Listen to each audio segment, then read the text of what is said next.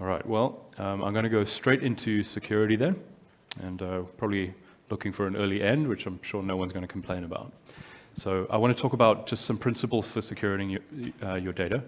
And um, security is an extraordinarily broad topic, so I want to quantify specifically what I'm talking about. Uh, I, we've done some work on trying to position where Flowgear fits into the, the, the space here. Um, I think things like citizen integrated tools are a very different category. Those are all inherently multi-tenant platforms. They have to be because the, you know, costings don't work any other way.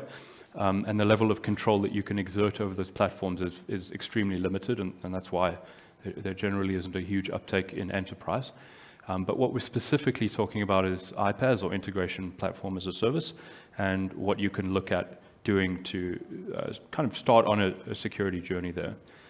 Um, it may not be obvious why uh, an integration platform is such a, an area, or should be such an area of concern from a security perspective.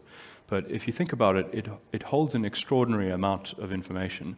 Um, there isn't really any other system that has connect, you know, credentials and connection information to all of the other apps and services. So, so for that reason alone, and um, in, in some ways, it's somewhat surprising that there haven't been uh, malicious actors that have targeted middleware platforms. There's been tons of things like, you know, supply chain attacks. I've not heard of, of one targeting uh, an integration platform, but to me, it, it, would actually be an effective target. So what I want to talk about is things that you can do to uh, uh start protecting yourself. And of course, there's no sort of one size fits all, and there's a ton of different dimensions to this. So we're just really going to focus on five different areas that you can watch out for.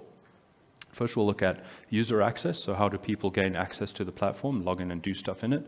Then we'll look at how we're storing sensitive information that the platform needs in order to be able to do its work. We'll talk about how the workload is actually executed, uh, the logging that it does, and then change management, which we've already discussed at some length. So first thing is that you really don't want to use a platform that does its own login. Uh, we moved away from that on our legacy platform. In our new platform, uh, we're, we're using providers like Microsoft and Google. Uh, we're using a, a, standard called OpenID Connect. Um, you can use uh, SAML as well. And so the idea is that the identity provider is responsible for enforcing whether a user gets in or not. Um, so we are using them for authentication, but not authorization purposes. So that's to say we can trust that they are who they claim to be based on what the identity provider tells us. But the authorization, what they're allowed to do, is still governed within Flowgear, and that might be something that we look at uh, tying more deeply into the identity provider over time. So if you look at something like uh, Microsoft Entra, formerly Active Directory, you're going to create your uh, list of users in there. Uh, you can then apply a lot of different policies, so things like um, single sign-on, multi-factor access, and so on. And so all of those things combined help you have a lot of assurance around who's allowed into the system. Uh, you can have you know, various policies. We have some customers that literally don't want access to the platform from outside of their office IP address. You can apply those policies because if no one can sign in from anything but a certain IP, then they can't do anything. And so it's, it's really nice to be able to apply that policy centrally. And then, of course, you get uh, an, a tamper-proof third-party audit trail of things like login attempts. And certainly within the context of Azure, there's a lot of alerting that you can build around unusual activity. And Microsoft is doing a ton of work around um, AI-driven uh, analysis of that. I, I, think one of the challenges actually with proactive alerting is it can just be too much, and how do you make sense of it when there's a thousand data points? And I think um, AI is showing a, a huge amount of success being able to help you prioritize meaningfully and get through you know, useful stuff. So an identity provider that's external to the platform is, is a great start, which is what we do. With respect to uh, credentials, um, you, you pretty much want to work on least privilege. One problem is that the access control on APIs is normally a lot less granular than the front end. And I think JJ made this comment earlier. If I'm in the front end of my ERP, I can create custom security groups. I can control, like, you know, this department can access this, or these customers can access this warehouse, but not that one. It's, it's normally very granular. And APIs generally don't afford that level of granularity, so you do need to be very careful. But where possible, you should use some kind of credential that has the least required level of privilege for the endpoint that you're talking to. Generally, you want to try and avoid having to store a username and password. Uh, a lot of products still do require that for API integration, and certainly if you're doing RPA, then that might be uh, the only option available to you. But a better option would be some kind of service token. So you've negotiated um, access to a resource. There are a, a, couple of different standards out there. One of them is um, OAuth. So what OAuth is going to do is allow a user to sign into a service and authorize access to that service for Flowgear and then issue a token to Flowgear, which it can then use to request certain data. But Flowgear itself never handles that user's credentials. So that kind of um, you know, separation of those roles is, is very good. And that's one form that a service token can take. Uh, a variation on that is something called a shared access signature. And that's when you have multiple things that need to access the same resource. Um, you can have uh, a different varia a different type of token available for each of those consumers. So you can tell consumer one apart from consumer two. Again, just good practice because that's going to show up in your access logs and you can then take decisions based on that. And then probably the, the best option available is to just not have to store any credential at all. And a few years back, Microsoft came out with a uh, capability called managed identity.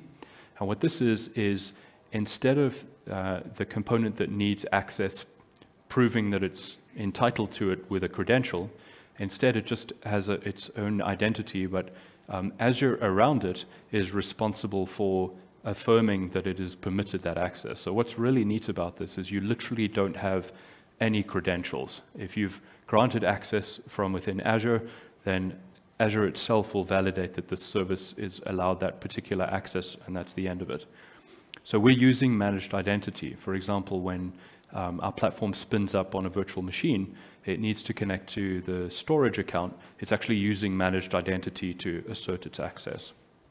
Another thing that you can do here is if you are using like a Flowgear drop point to integrate with an on-prem resource, let's say you're integrating a, a Microsoft SQL database, uh, you might default to using a username and password.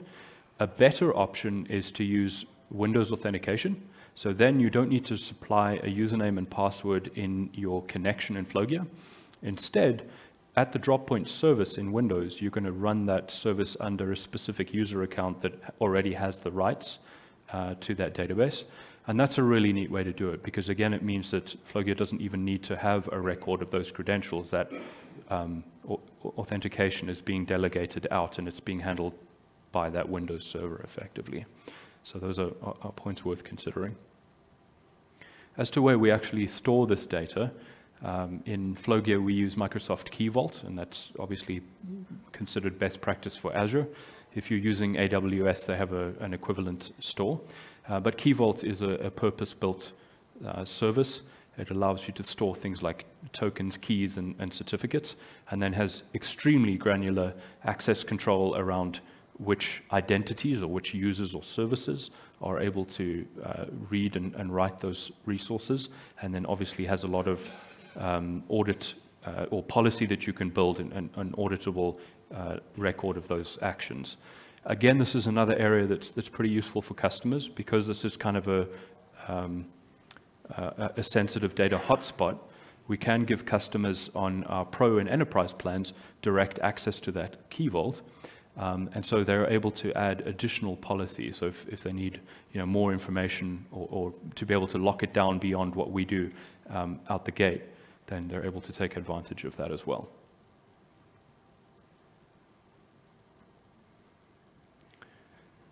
So when we, when we started in sort of early 2010, one of the biggest things we actually had to convince customers of is why would you use a cloud platform for integration? We're not having so many of those conversations anymore.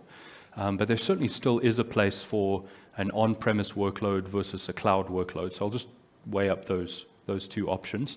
Um, and in Flowgear, although most of our customers are taking our cloud offering, we do offer um, either an on-prem or an own tenant offering around the, the platform as well. So the own tenant option is if you're an Azure customer, we can deploy your Flowgear tenant inside your Azure tenant. So you can kind of uh, virtually ring fence that as far as you need. And then we do have an on-prem option as well, where we can have an, a highly available uh, runtime and you'll, you'll interact with that but it's on-prem. So obviously the advantage of, of cloud is that it's, it just works for you. You don't have to worry about complexities around patching and, and uptime. Um, whereas uh, on-prem, it's easier to make, it's, it's, in a way easier to reason about what data is leaving the network because you can just put a firewall on it, allow nothing out, and then you know at least nothing is emanating directly uh, out of the platform. So there is a, an initial uh, kind of high level of control. I will say though that even in our cloud environment, we do offer a, we have a, uh, a VNet per customer. So you can actually apply things like um, you know, various types of network policy if you need to restrict access to that further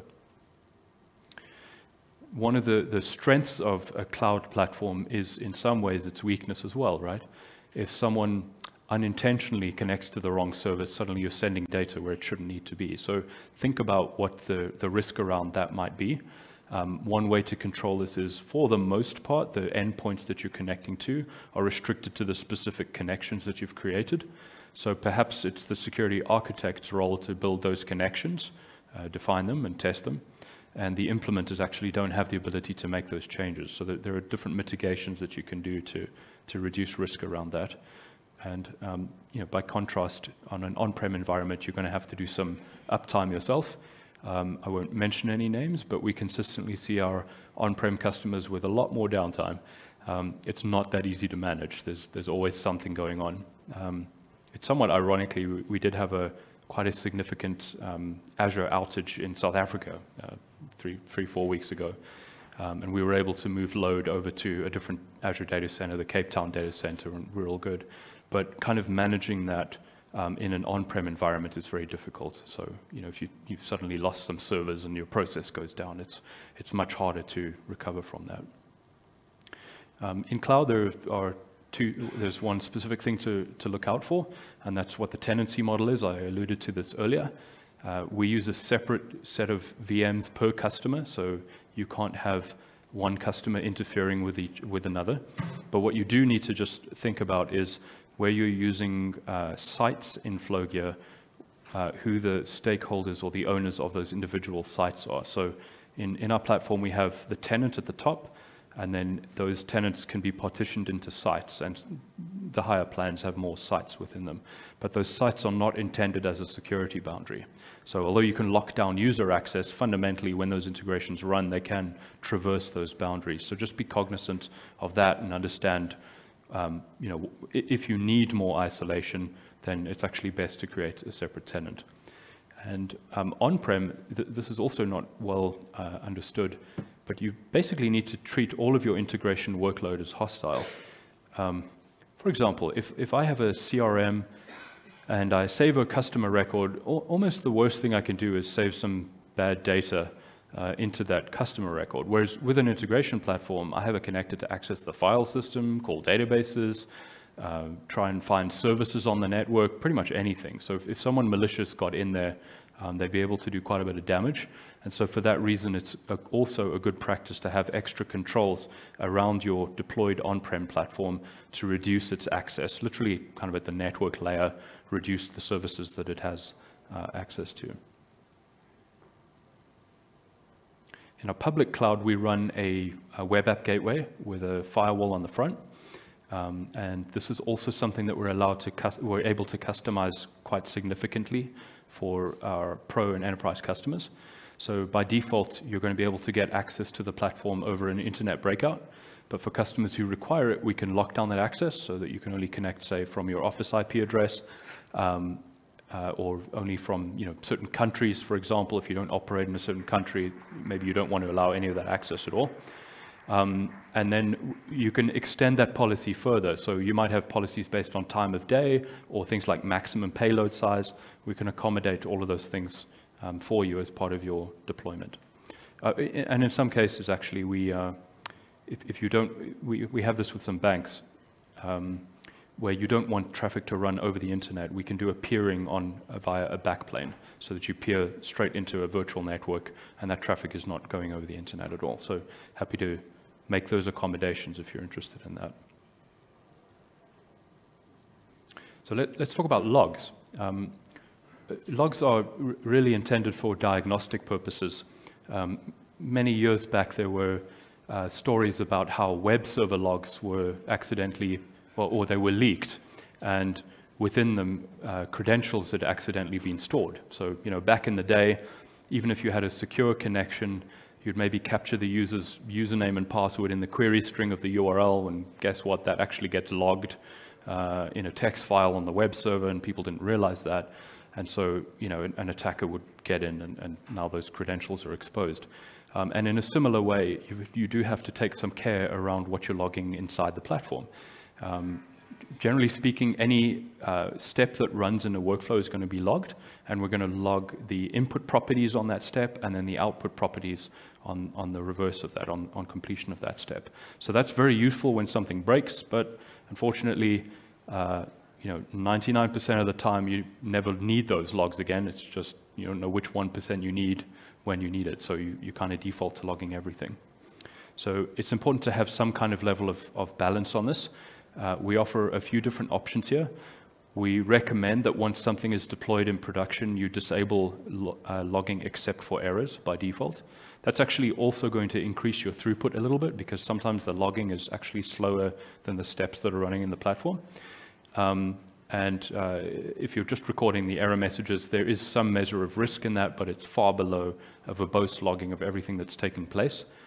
Um, we also offer a redaction feature. So literally on the design of the workflow, you can pick specific properties that need to be redacted. So for instance, if you're capturing a credit card, you can redact that property. The one care that needs to be taken with that is you might have a step that you've redacted a property, but then further down you're using the output of that at another step. So you kind of need to follow that the whole way down the chain and make sure you've been very thorough. And that would be then something that your customers or, or the, that your QA team should take into account when they're uh, reviewing. And then finally, uh, make sure that you don't have any credentials stored within the uh, workflow design itself. There are some very um, unlikely edge cases where it's very difficult to avoid this. But generally, if you're using uh, Flowgear connections, it's impossible for that connection data to be stored in the log. So use connections. Um, one thing that we've seen a few times is uh, customers need to connect to, say, 50 different databases, and they don't want to create 50 different connections, so they kind of inject them in, and now the credentials are there in the workflow design. Um, but you can actually dynamically inject connections into the workflow design as well. So you build those 50 connections, and then you can dynamically inject them by referencing them with a, an, an, ID, and that means that you don't have to explicitly put credentials into the workflow design. So we strongly recommend using that approach. And then just like all things with respect to security, um, it's, it's never done. So as you're going through these different iterations, you need to think about where you need to apply less control and then ultimately more control, and specifically have a formal review process in place that's works like a peer review process would in traditional software. Um, you can build workflows that test workflows. Again, this kind of models the way that a software developer would work, where they'll, where they'll build um, test suites out for a particular feature. Um, so those are all good practices. And then uh, the uh, automated ability to publish something into production without being able to then tamper with that design in production is a good um, control mechanism as well. So that's the review process that we spoke about uh, a little earlier, your ability to control exactly when something hits a different environment. These are three environments set up here. Uh, every environment that you add actually creates some overhead. So we have a lot of customers who only use two. If you don't have three uh, types of endpoints for every product, you probably don't want three environments. So if you just have a test environment and a prod, you should just have uh, uh, two environments set up correspondingly in Flowgear. So that's it, and uh, we've looked at uh, the best way to secure uh, user access, so use an independent identity provider. We talked about using connections inside Flowgear to securely store credentials. We talked about some of the concerns around where the workload executes, whether it's on-prem or in the cloud. We've considered some aspects around the activity logs, and then finally, what that change management process should look like for a good security posture. All right, thank you.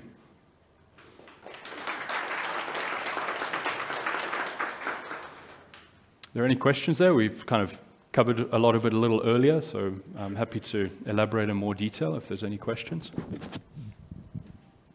Yeah. Uh, on certification, do you guys on uh, replication, do you guys uh, replicate VMs for each client or uh, for each client, let's say if you, you deploy a VM for them and it's in Cape Town, do you replicate to other data centers or it's just only one uh, data center? It, uh, it depends on the plan that they're on. So the backing services that we use, the storage accounts are um, uh, globally redundant replicated. So uh, that data replicates to a secondary region. Um, and if Azure had, for example, a full uh, data center outage, we'd be able to have a read access to that data. And that's actually all we need because in the case of such a significant outage, all we want to do is make sure we can continue to process workload. So if we can still read, you know, workflow designs and credentials and that sort of thing. When it comes to the VMs, what we do is, depending on the plan that you're on, we create a, a certain size of cluster, and then on our higher plans, we have a, a full DR environment as well. Now, those VMs aren't replicated. We don't actually need to transfer state. So they're just fresh VMs spun up with the appropriate version of our platform and then we use a, a, a, load balancer to route traffic to primary or secondary, and we run health probes to determine whether we're getting responsiveness from that, that environment. If they start to become unresponsive for a period of time, then we'll do an automated failover to the secondary. So the DR, whether you have DR, is governed by a subscription, and that's going to be informed by what you need operationally. So we have some customers who have important processes, but they're batch driven and they really don't mind. In, a, in, in, the very rare event of a data center level issue, you know, they could live with that for a few hours, whereas others are doing real time inbound API invoked. They really don't want to ever go down, and those customers need a DR environment.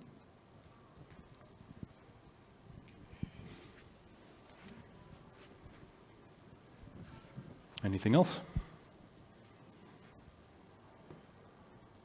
All right, well, thank you for joining me.